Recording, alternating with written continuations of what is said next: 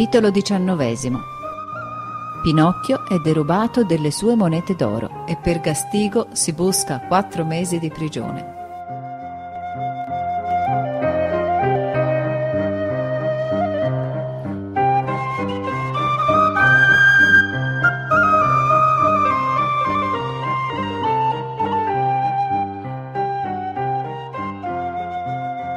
Il burattino, ritornato in città, cominciò a contare i minuti a uno a uno e quando gli parve che fosse l'ora riprese subito la strada che menava al campo dei miracoli. E mentre camminava con passo frettoloso, il cuore gli batteva forte e gli faceva tic-tac, tic-tac, come un orologio da sala quando corre davvero. E intanto pensava dentro di sé. E se invece di mille monete ne trovassi sui rami dell'albero duemila? E se invece di duemila ne trovassi cinquemila? E se invece di cinquemila ne trovassi centomila? Oh, che bel signore allora che diventerei! Vorrei avere un bel palazzo, mille cavallini di legno e mille scuderie per potermi baloccare, una cantina di rosoli e di alchermes e una libreria tutta piena di canditi, di torte, di panettoni, di mandorlati e di cialdoni con la panna. Così fantasticando giunse in vicinanza del campo e lì si fermò a guardare se per caso avesse potuto scorgere qualche albero coi rami carichi di monete. Ma non vide nulla. Fece altri cento passi in avanti e nulla. Entrò sul campo, andò proprio su quella piccola buca dove aveva sotterrato i suoi zecchini e nulla. Allora diventò pensieroso e, dimenticando le regole del galateo e della buona creanza, tirò fuori una mano di tasca e si dette una lunghissima grattatina di capo. In quel mentre sentì fischiare negli orecchi una gran risata e voltatosi in su vide sopra un albero un grosso pappagallo che si spollinava le poche penne che aveva addosso. Perché ridi? gli domandò Pinocchio con voce di bizza. Rido perché nello spollinarmi mi son fatto il solletico sotto le ali.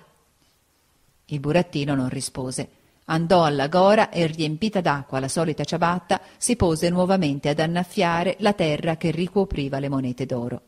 Quand'ecco che un'altra risata anche più impertinente della prima si fece sentire nella solitudine silenziosa di quel campo.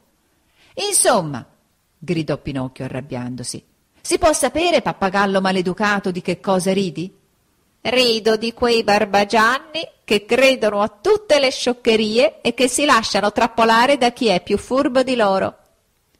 Parli forse di me? Sì, parlo di te, povero Pinocchio, di te che sei così dolce di sale, da credere che i denari si possano seminare e raccogliere nei campi come si seminano i fagioli e le zucche. Anch'io l'ho creduto una volta e oggi ne porto le pene. Oggi ma troppo tardi.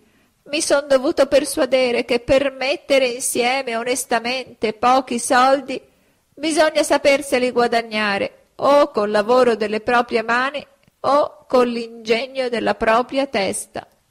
Non ti capisco, disse il burattino che già cominciava a tremare dalla paura.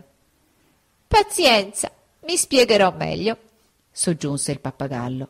Sappi dunque che mentre tu eri in città, la volpe e il gatto sono tornati in questo campo.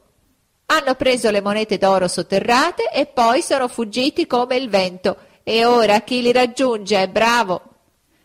Pinocchio restò a bocca aperta e non volendo credere alle parole del pappagallo, cominciò con le mani e con le unghie a scavare il terreno che aveva annaffiato. E scava, scava, scava, fece una buca così profonda che ci sarebbe entrato per ritto un pagliaio ma le monete non c'erano più. Allora, preso dalla disperazione, tornò di corsa in città e andò difilato in tribunale per denunziare al giudice i due malandrini che lo avevano derubato. Il giudice era uno scimmione della razza dei gorilla, un vecchio scimmione rispettabile per la sua grave età, per la sua barba bianca e specialmente per i suoi occhiali d'oro, senza vetri, che era costretto a portare continuamente a motivo di una flussione d'occhi che lo tormentava da parecchi anni. Pinocchio, alla presenza del giudice, raccontò per filo e per segno l'iniqua frode di cui era stato vittima, dette il nome, il cognome e i connotati dei malandrini e finì col chiedere giustizia. Il giudice lo ascoltò con molta benignità, prese vivissima parte al racconto, si intenerì si commosse e quando il burattino non ebbe più nulla da dire, allungò la mano e suonò il campanello. A quella scampanellata comparvero subito due can mastini vestiti da giandarmi. Allora il giudice, accennando Pinocchio ai giandarmi, disse loro Quel povero diavolo è stato derubato di quattro monete d'oro. Pigliatelo dunque e mettetelo subito in prigione. Il burattino, sentendosi dare questa sentenza fra capo e collo, rimase di princisbecco e voleva protestare. Ma i giandarmi, a scanso di perditempi inutili, gli tapparono la bocca e lo condussero in gattabuia. E lì vebbe a rimanere quattro mesi. Quattro lunghissimi mesi. E vi sarebbe rimasto anche di più se non si fosse dato un caso fortunatissimo.